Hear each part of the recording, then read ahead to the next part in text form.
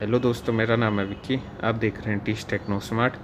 चलिए शुरू करते हैं। आज मैं आपको बताने जा रहा हूँ वोल्टाज के इन्वर्टर एसी के बारे में, जो कि 1.5 टन अपने सामने लगे हुए हैं। देख सकते हो आप।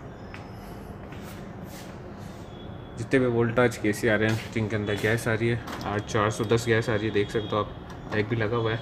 इन्वर्टर एसी है। वेरिएबल स्पीड में काम करेंगे। रूम के टेम्परेचर के अकॉर्डिंग जैसे कि आप पहले नॉर्मल एसी देखते रहे उनमें क्या होता था, जैसे कूलिंग मेंटेन होती थी, वो कट ऑफ़ हो जाते थे। ये कट ऑफ़ नहीं होता, एक वेरिएबल स्पीड में काम करते हैं रूम के टेम्परेचर के अकॉर्डिंग देख सकते हैं आप, तीन इनर साइज़ आती है।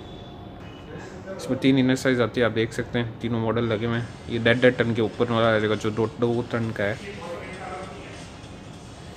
लुकिंग वाइज काफ़ी अलग अलग तरह की इनर आती है। देख सकते हैं इसका लुक कितना प्रीमियम है। जो कॉस्ट आएगी वो आपके थर्टी सिक्स नाइन नाइन्टी का है। मार्केट में से थोड़ा सस्ता ही मिलेगा, क्योंकि इस पर डिस्काउंट नहीं है। हंड्रेड परसेंट कॉपर में आता है स्टेबलाइजर इसके अंदर बिल्ड नहीं आता है। स्टेबलाइजर वोल्टाज के इसी में अलग लगाना पड़ता है। इलेक्ट्रिसिटी कंजप्शन है जो ये ऊपर वाला देख सकते हो, ये फाइव स्टार रेटिंग के अंदर है। जिसका कंजप्शन होगा, ये सात सौ आठ सौ यूनिट के करीब का आता है, आठ महीने में आठ घंटे चलने पर।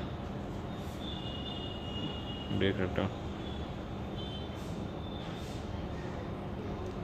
काफ़ी अच्छे हैं। वोल्टाज की सर्विस अगर आपकी सिटी में है तो बहुत अच्छी चीज़ है।